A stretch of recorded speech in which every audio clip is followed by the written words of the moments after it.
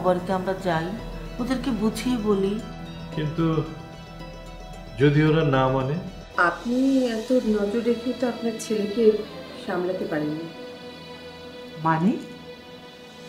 মানে সে নাকি আঠাশ বছর আগে কোথায় বিয়ে করেছিল? আপনাদের মন ভেঙে আমি এখন বিবাহিত দয়া করে আমাকে স্পর্শকাতর এস এম এস করবেন না কারণ আমার স্ত্রী সমস্ত এস এম এস পড়ে। আমি তোমাদেরকে স্বীকৃতি দিতে চাই। হ্যাঁ এটা ঠিক আছে। কিন্তু তোমার কি মনে হয় না যে আমি আমার সবচাইতে কাছের একটা মানুষকে হারিয়েছি? আর তা হচ্ছে আমার সন্তান। এর চেয়ে বড় শাস্তি আর কি হতে পারে আমি একজন নিঃস্ব। আর এখন আমি আমার আরেক হারিয়ে যাওয়া সন্তানকে যদি ফিরে পেতে চাই তাহলে এটা অন্যায়? অন্যায় যদি হয়েও থাকে, তাহলে আমার কিছু করার নেই। আমি ওকে ফিরে পেতে চাই। আপনি আপনি দয়া করে এখন যান। আমরা ভেবে আপনাকে জানাব।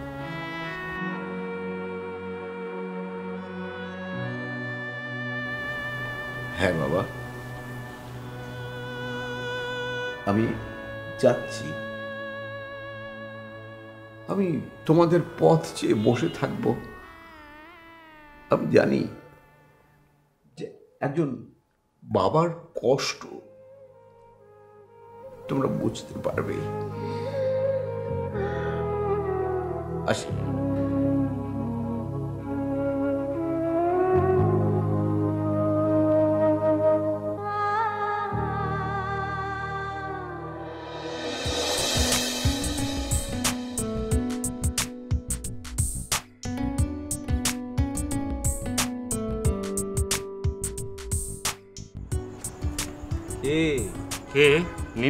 আমাকে মেরো না।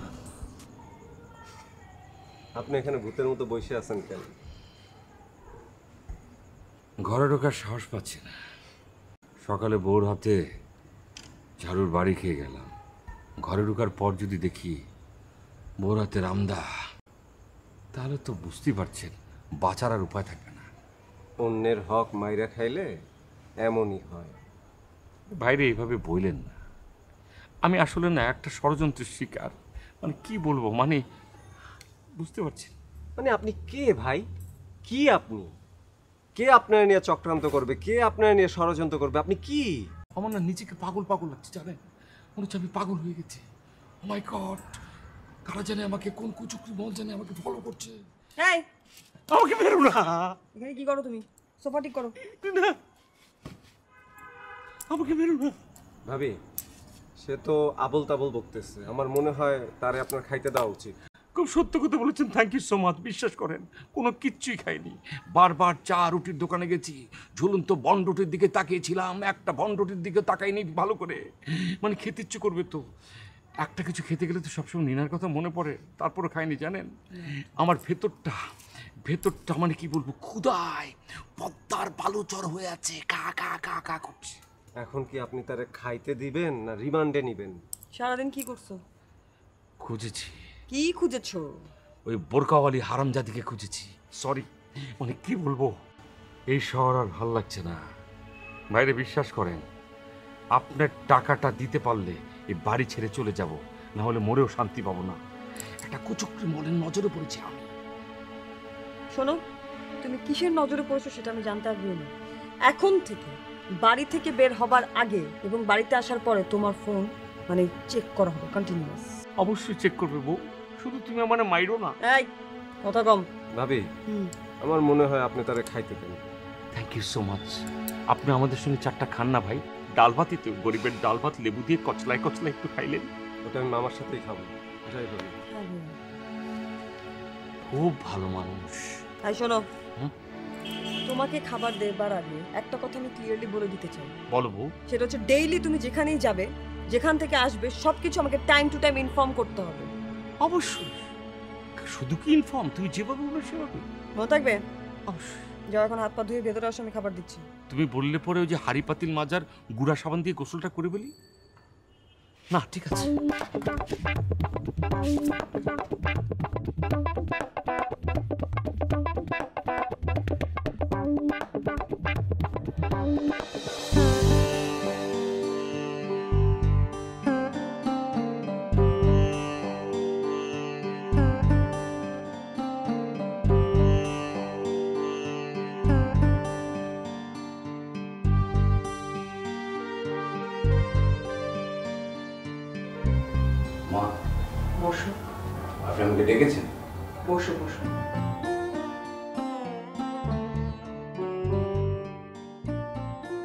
তুমি তো জানো কেন তোমাকে আমি ডেকেছি হ্যাঁ নিশ্চয়ই জানি।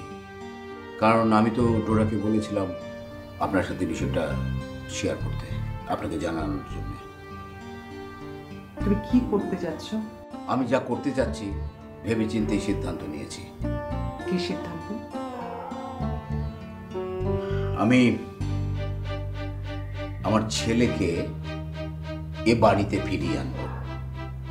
তাকে স্বীকৃতি দেব। আচ্ছা।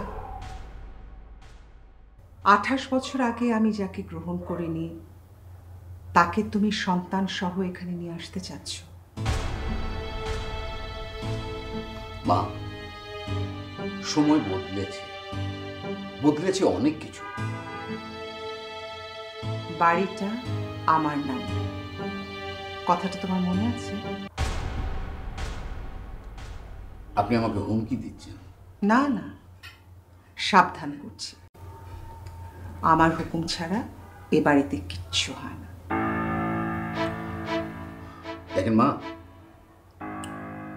আমি আমার ছেলেকে ফিরিয়ে আনব। কারণ সে আমার সন্তান আমার ওয়ারিশ। এখন এতে যদি আপনি বাধা দেন তাহলে আমি মানব না। আপনি যদি আমার সাথে দ্বন্দ্বে জড়াতে চান, তাহলে আমিও জড়াবো। এতে করে পারিবারিক দ্বন্দ্ব বাড়বে। হ্যাঁ এ বাড়ি আপনার। তো আপনি কি এই বাড়ি নিয়ে থাকতে চান, নাকি আমাকে নিয়ে? আমার হাতে কিন্তু সমস্ত ব্যবসা বাণিজ্য সব। আপনার জন্য যে একজন সার্বক্ষণিক লোক, আপনার যে আরাম আয়েস এগুলো সমস্ত কিছু কিন্তু আসে ওই ব্যবসার টাকা থেকে। আশা করি কথাটা আপনি মাথায় রাখবেন।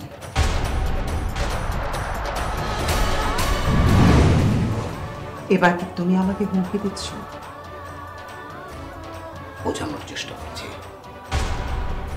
আমার সন্তান মারা গেছে। আমার আরেকটা ছেলে আছে। আমি ওকে এ বাড়িতে এনে ওকে স্বীকৃতি দিতে চাই। আঠাশ বছর আগে আমি আপনার কথা শুনেছি আজ আপনি আমার কথা শুনবেন। আমার ছেলেটা মারা গেছে। আমার আরেকটা সন্তান আছে ও এবারের ওয়ারিশ। ওকে আমি স্বীকৃতি দিতে পারব না এটা আমি মেনে নিতে পারছি না। তার অর্থ এইবার তুমি আমার কথা শুনছো না। আপনি আমার কথা শোনেন। এটা আমি চাচ্ছি।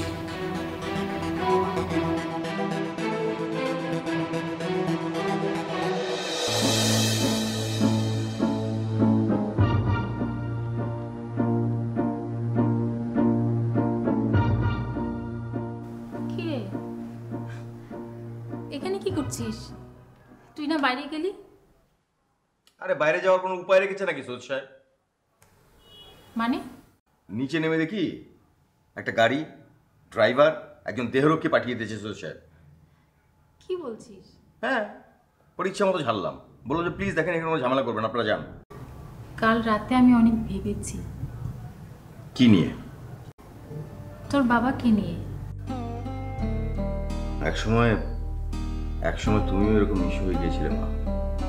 কিন্তু সন্তান হারানোর বেদনার সাথে কোনো কিছুর তুলনা হয় না বাবা। তুমি আসলে কি বলতে চাও বলো তো মা? দেখ বাবা আমার যা মনে হয়েছে তাই বল। আমি আর কদিন? তোর বাবাও একদিন থাকবেন না।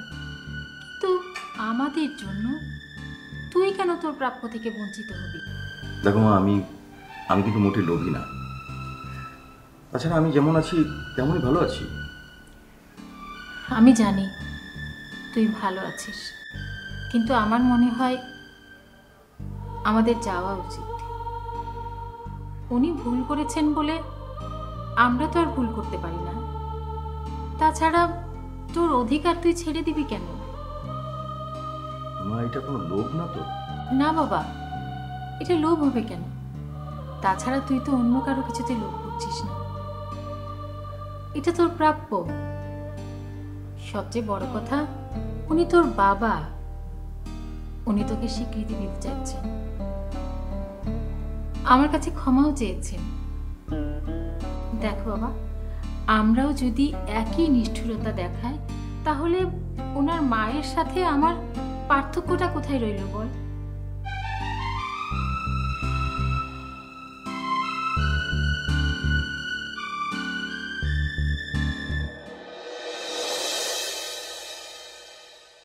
শিলা? শিলা আমার কেমন যেন লাগছে। কেমন লাগছে? পানি খাবে? না বুঝতে পারছি না। কেমন যেন দম বন্ধ হয়ে আসছে। তুমি এমন করছ আমি কীভাবে বসি? একটু লেবু পানি নিয়ে আসি তোমার প্রেশারটা মনে হয় বেড়েছে। কিচ্ছু করতে হবে না। তুমি আমার পাশে একটু বসো তো। আমি যে কি করি? দাঁড়াও একটু নাবিলকে ফোন দিই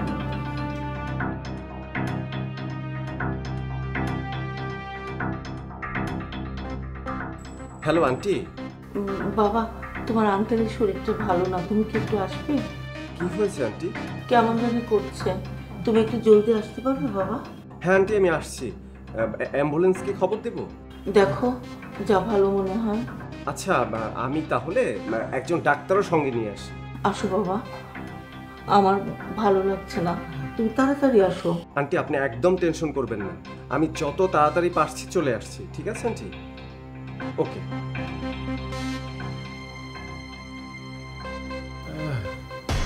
তুমি শুধু শুধু টেনশন করছ। তেমন কিছু হয়নি ভালো আছি।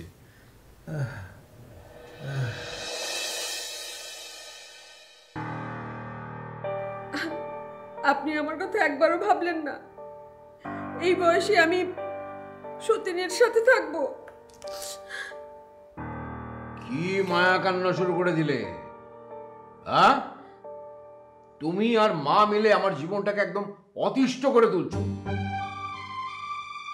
আপনি তো আমাদেরকে ছোট করতে চাচ্ছেন। দেখো আমি এই বংশকে রক্ষা করবার জন্য যা করার তাই করছি এটা তো বুঝতে হবে। আমি কিছু বুঝতে চাই না। আপনি ওদেরকে এই বাড়িতে আনবেন না। এটাই আমার শেষ কথা। তুমি বড় বেশি কথা বলছো। কিন্তু যেটা বলছি সেটা হক কথা বলছি। তোমার হক কথার কোনো মূল্য আমার কাছে নেই বুঝতে পেরেছ? তার মানে আমার মতামতের কোনো দাম আপনার কাছে নেই? না নেই। কারণ আমি তো জনে জনে প্রত্যেকের কথা শুনে আমার কাজ করতে পারব না। তার মানে তাদেরকে আপনি এই বাড়িতে আনবেনই? হ্যাঁ আনার চেষ্টা করছি। চেষ্টা করতে হবে না। তারা এই সম্পত্তির খবর পেয়েছে এমনিতেই চলে আসবে। ভুল। সম্পত্তির প্রতি ওদের কোনো লোভ লালসা নেই। যদি থাকতো সেটা অনেক আগে ওরা করতে পারতো। আপনি যে কি জানেন সেটা আপনিই জানেন। না আমি ঠিক জানি।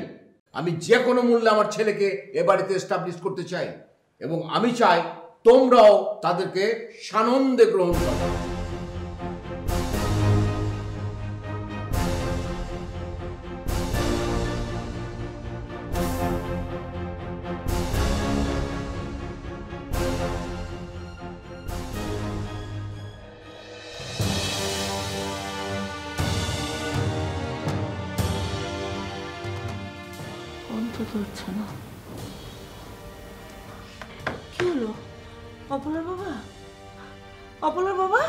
কথা বলছো না কেন?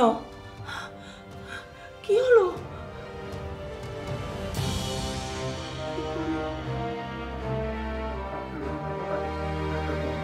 অপলার বাবা অপলার বাবা। এই, কথা বলো, অপলার বাবা। হলো অপলার বাবা।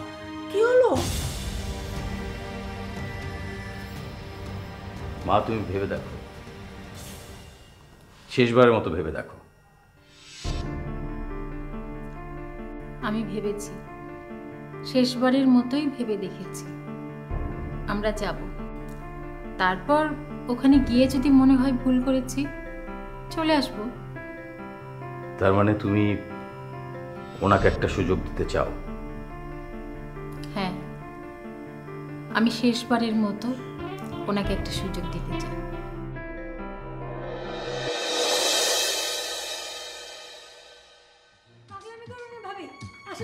ছাড়ো। আমাকে ছাড়ো বলছি ছাড়ো আমাকে। ছাড়ো।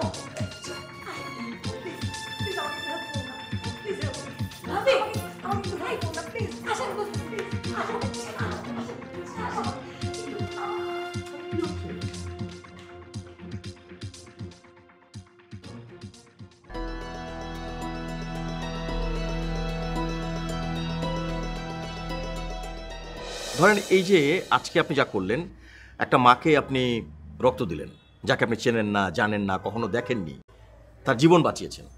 এই সম্পর্কটাকে আপনি কি বলবেন? রক্তের সম্পর্ক বলা যাবে না? খুব সুন্দর ভাবনা। আমি এভাবে আসলে কখনো ভাবিনি।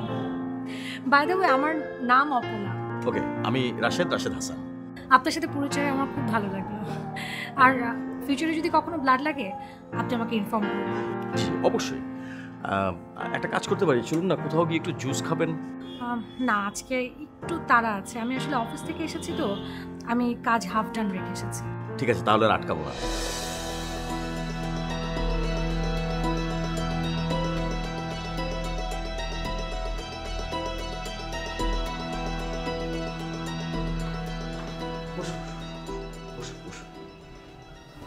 সরি আমরা না বলেই চলে এলাম। করেছ? আরে মেহমান বাড়িতে কখনো কেউ যদি যায় তাহলে তাকে জানিয়ে যেতে হয়। তুমি নিজের বাড়িতে এসেছ এরকম কাউকে জানিয়ে আসতে হবে এই কথা তো আমি কোনোদিন শুনিনি। না মানে আপনারা প্রস্তুত কিনা? আরে এখানে প্রস্তুত অপ্রস্তুতের কি আছে? এটা তো তোমার বাড়ি। আর মায়ের? নিশ্চয়ই তোমার মায়েরও বাড়ি। আজ আমার কি যে ভালো লাগছে তোমাদেরকে বলে বোঝাতে পারব না। অনেক দিন পরে মনে হচ্ছে যে এই বাড়িটা আনন্দে একেবারে ঝলমল ঝলমল করছে। আমি আমি আত্মহত্যা করব মা। আত্মহত্যা করলে করবে? এখন কি তুমি প্রেস ব্রিফিং দিয়ে আত্মহত্যা করবে নাকি? আমি সত্যি বলছি মা। আমি আর বেঁচে থাকতে চাই না। এই দিন আমি দেখতে চাইনি। আর কিসের দিন? তুমি কি বলছো? আমি তো তার মাথা মুন্ডু কিচ্ছু বুঝতে পারছি না। ওরা আজকে এ বাসে চলে এসেছে। কি? ওদেরকে এ বাড়িতে নিয়ে এসছে? সে আনেনি ওরা নিজেরাই চলে এসেছে। আমি তাকে বলেছিলাম যে সম্পত্তির গন্ধ পেলে ওরা ছোপ ছোপ করে চলে আসবে। সে আমার কথা বিশ্বাস করেনি। এখন তো বোঝাই গেল সম্পত্তির লোক। সে বলেছে ওরা সম্পত্তির লোভী না। লোভী কিনা এখন তো ঠিকই বোঝা গেল। আমার আর এই সংসারের প্রতি কোনো টান রইল না মা। আমি আমার ছেলেকে হারিয়েছি এখন আমার সংসারটাও হারালাম। ডোরা শান্ত হও। আমি দেখছি কি করা যায়। কি করবেন? কি করার আছে মা? এখন আমরা আমরা ওদেরকে ফুলের মালা দিয়ে বরণ করে নিব। এছাড়া তো আর কিছু করার নেই। অসম্ভব। সারা? সারা করবে? তুমি তারও আমি দেখছি।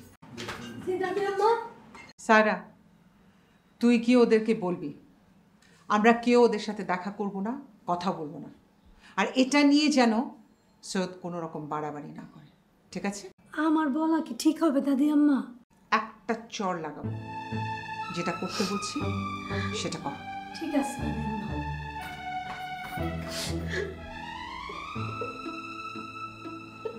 তুমি কান্নাটা থামাও দয়া করে। আপনাদের মানে আপনার বাড়ির অন্য মানুষজন কোথায়? অন্যদের কাউকে তো দেখছি না। আরে আছে আছে সবাই আছে। ওরা আছে ওদিকটায়। মানে এখানে দুটো পোর্শন ওদিকটায় ওরা আছে আর এদিকটায় আমি। আমার সাথে তুমি থাকবে। না মানে আপনার স্ত্রী আপনার মা ওনারা কি জানেন যে আমরা আসব? হ্যাঁ নিশ্চয়ই জানে ওদেরকে জানানো হয়েছে। কিন্তু তাদের তো দেখছি না। ওরা আসবে তোমার সঙ্গে দেখা করবে। ও এই সায়রা এসছো ভালো হয়েছে। একটা কাজ করো তো ওই রাজুর মাকে বলো যে রাশেদ এসেছে যাও। তারা আমাকে খবর পাঠাচ্ছে তারা আসবেন না। কি? তারা দেখা করবেন না। দেখা করবে না মানে?